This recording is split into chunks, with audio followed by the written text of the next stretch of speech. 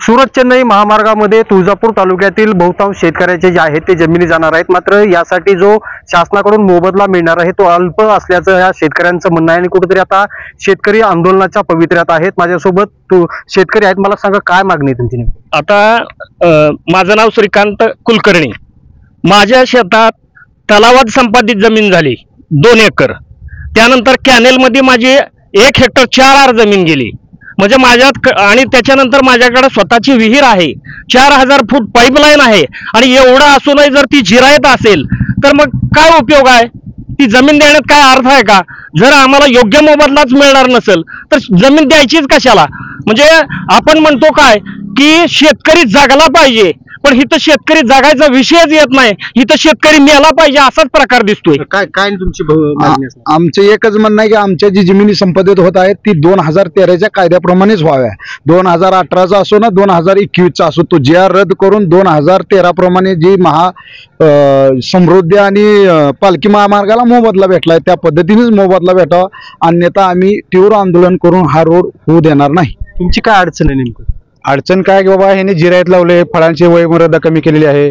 पुन्हा म्हणलं तर जिल्हा आमच्या न्यायालयात निकाल लागलेला आहे. त्याप्रमाणे आम्हाला जे मोबदला आहे शासनाने जे दिले त्यांना नियम त्या नियमाप्रमाणे त्यांनी हे करावे आणि पालकमंत्री खासदार साहेब आणि स्थानिक लोकप्रतिनिधी तुळजापूरचे यांनी सुद्धा ह्या जाणीवपूर्वक येणाऱ्या विधानसभेच्या आत यांनी लक्ष घालून हे शेतकऱ्याचं समाधान करावे महाविजाच्या सगळ्याच गोष्टीचं समाधान करावं एवढीच आमची प्रामाणिकीची आहे. अन्यथा शेतकरी आक्रमक आहे. या या गोष्टीचा विचार करावा सर्व लोकप्रतिनिधींनी. काय येत मध्ये यामध्ये तुम्ही निवेदन दिलंय का? काय मागणी केली आणि आता काय पुढची रणनीती असणार आम्हाला थेट वाटाघाटीचे भूसंपादन अपेक्षित आहे आणि सव्वीसशे प्रमाणे आम्हाला मा मावेजा मिळावा दोन हजार तेराच्या कायद्याप्रमाणे. मनमोहन सिंग सरकारच्या कायद्याप्रमाणे. जो कायद्यामध्ये ह्यांनी जी मोडतोड केलेली आहे या मोडतोड केलेल्या कायद्याप्रमाणे आम्ही पैसे मावेजा घेणार नाहोत. हे आमचं स्पष्ट मत आहे. किती किती फरक पडतोय नेमका? आताच्या ते सरकार देतंय आणि तुमची मागणीनुसार किती फरक पडतोय याच्यामध्ये? मनमोहन सिंग सरकारने दोन हजार तेराला जो कायदा अ, पा- पास केला त्याच्यामध्ये असं होतं की मार्केट व्हॅल्यूच्या चार पाच पट. आणि यांनी केलं ते रेडी रेकनरच्या चार पट. रेडी रेकनर आहे एका जमिनीचा अडीच लाख रुपये हेक्टर त्याला चार पट केले तर दहा लाख रुपये हेक्टरनं जमीन चालली. आणि गावामध्ये हेक्टरी रेट आहे पन्नास लाख रुपये. तर अशी परिस्थिती आहे. आणि एकरी रेट आहे पंचवीस लाख रुपये. हेक्टर म्हणजे रेडी रेकनर आणि मार्केट व्हॅल्यू मध्ये कमीत कमी ऐंशी टक्क्याचा फरक आहे. आणि या अशा प्रकारे म्हणजे आम्हाला मारलं जातंय. तारलं जात नाही शेतकऱ्यांना.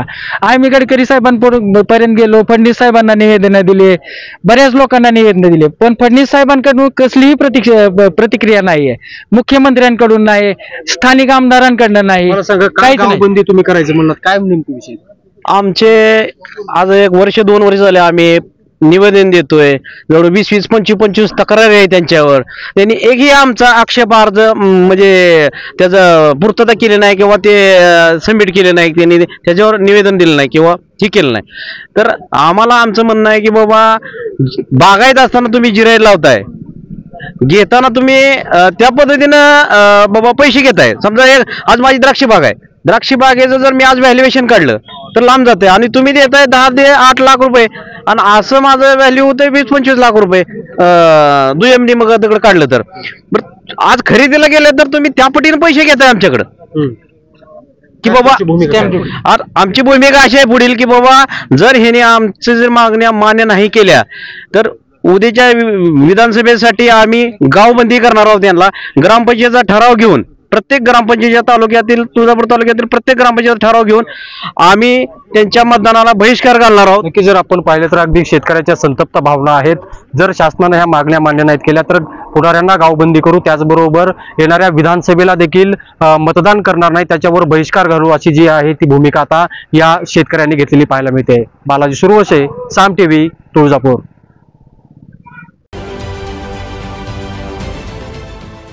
देश विदेशातील प्रत्येक घडामोडींचे लाईव्ह अपडेट मिळवण्यासाठी आता साम टीव्हीच्या सर्व सोशल मीडिया प्लॅटफॉर्मला लाईक फॉलो आणि सबस्क्राईब करा. तसंच सर्व नोटिफिकेशनसाठी बेल आयकॉन प्रेस करायला विसरू नका.